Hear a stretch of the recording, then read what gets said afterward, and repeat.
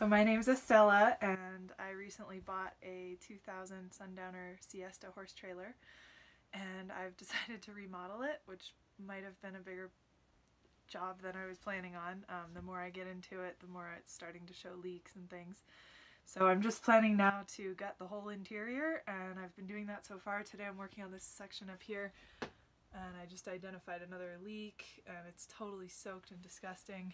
Um, and I just did, last week I did this section, I ripped out, um, there was a big cabinet up here and stuff, so I have my hammer and my drill and my crowbar and I'm just going to town with my trusty little dog and a willpower.